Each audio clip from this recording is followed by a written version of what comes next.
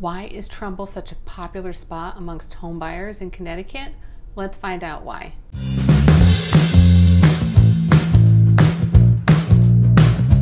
Hi, I'm Stacy Olson with the Valentini team at William Raveis Real Estate, and on my channel, I'm going to teach you everything you need to know about living on the coast. So, what are the top five things people love about Trumbull?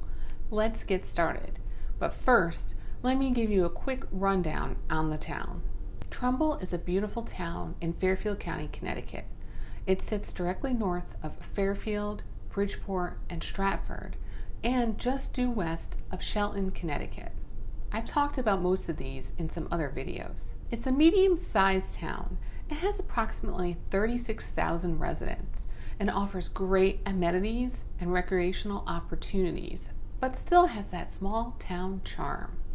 As you drive around, you're going to see a mix of different home styles, from smaller ranch type homes that may have built in the 50s and 60s to very large colonials that were built within the last 20 years.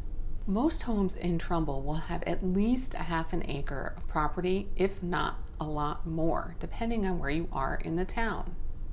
Trumbull is one of the more expensive areas around here. So at the end of June 22, the median home price was $565,000, so a little higher than some of the other areas I've spoken about. Many people focus on Trumbull, especially clients I have that are coming from New York State. They are always fixated on Trumbull, and there's many reasons why. So let's start off with number one, they have an excellent school system. Trumbull is known for having an amazing school district. This becomes the focus of many people moving here, especially when they have families. But that can also bring some sticker shock because you're going to pay with higher real estate costs and higher taxes. But many people are willing to overlook that because they want the great schools for their kids. And if you want to find out how great Trumbull is, go to niche.com or greatschools.org to see how it's rated against all other towns in the state of Connecticut.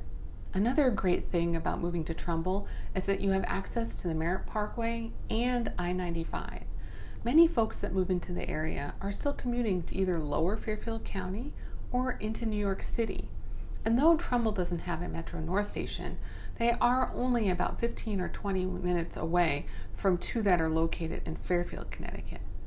But they do have two access points onto the Merritt Parkway. You can get it from either Main Street or from the Route 25 connector. Trumbull, though by no means cheap, is one of the more affordable areas in Fairfield County.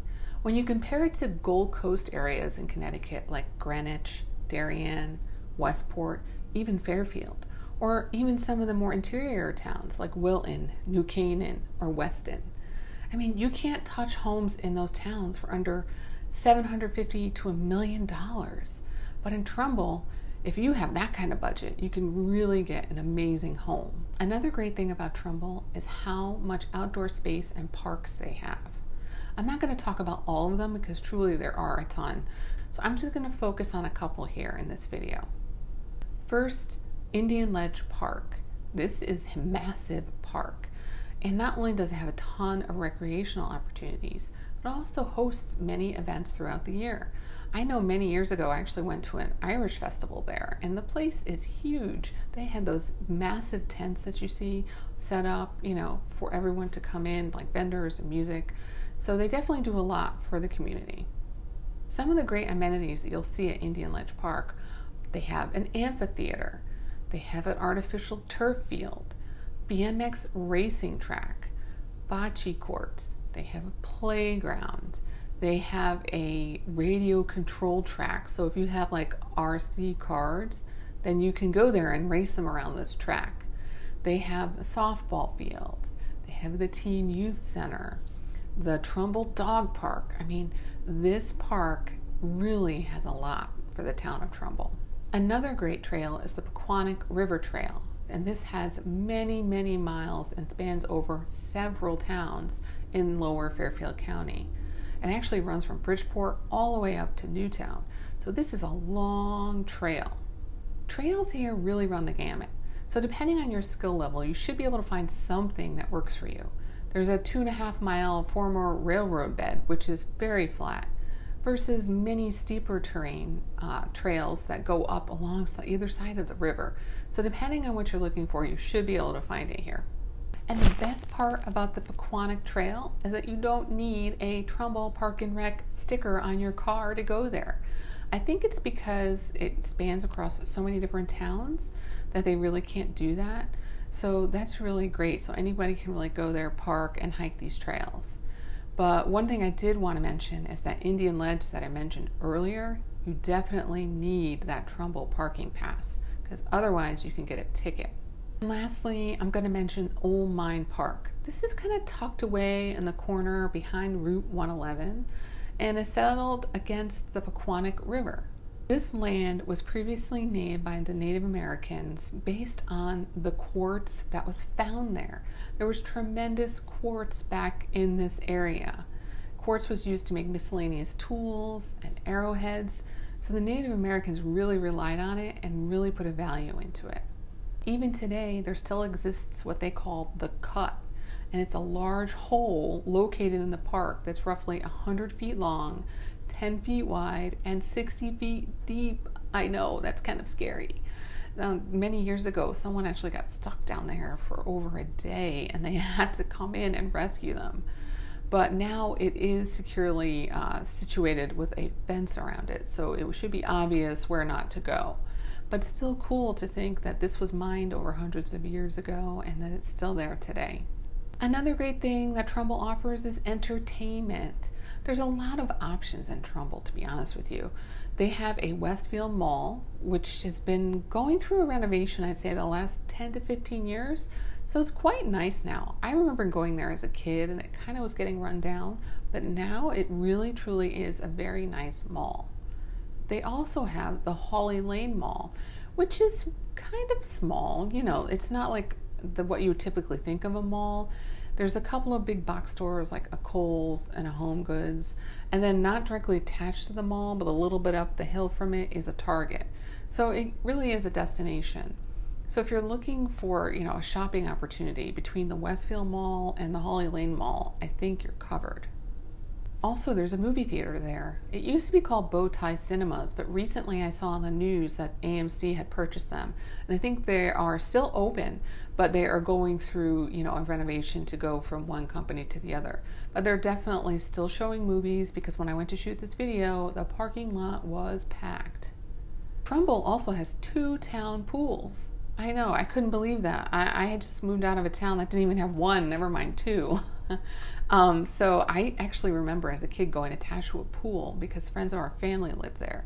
And the best thing about it is that they have this really high diving board there. It is so cool. Like all the kids, were, you know, want to get on that diving board. So it is nice that they have two pools there. And last but not least, they have Tashua Knolls and Tashua Glen golf course. So if you're a golfer, there's plenty of opportunity to go here and use the facilities. And I'd say the last thing that's so great about Trumbull is that they have that small town feeling, even though they really aren't a small town. For example, they have Plasko's Farm. Plasko's Farm originated in 1925 by first generation immigrants from Czechoslovakia and about 25 years ago went through an expansion. So not only was it used for farming of corn and other produce, but they also decided to add a nursery, a country store, and a full blown bakery. And most recently, they added a creamery.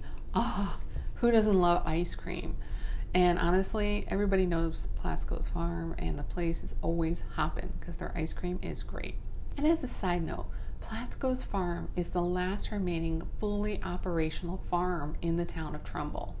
So really go support them because it means a lot when you support small local business like that. Another great small town feel thing is that in the summer they have a summer concert series near the town hall and gazebo that they have right in the center of Trumbull. And it's held every Tuesday from 7 to 8:30. Also in the summer, they run kid-friendly movies at Tashua Pool so they have open swim followed by a movie. So what's better than that? Have your kids go swimming, they get out, they get all comfy, and then you watch a movie together as a family. And now, as an added bonus, I'm going to talk about a couple restaurants in Trumbull that always get thumbs up from me. First, Prime 111. This is more what I would call a steakhouse. Yes, they have other things on the menu other than steak, but they really have a really high quality selection of meats. So if you're going there, you really should splurge and go for the steak.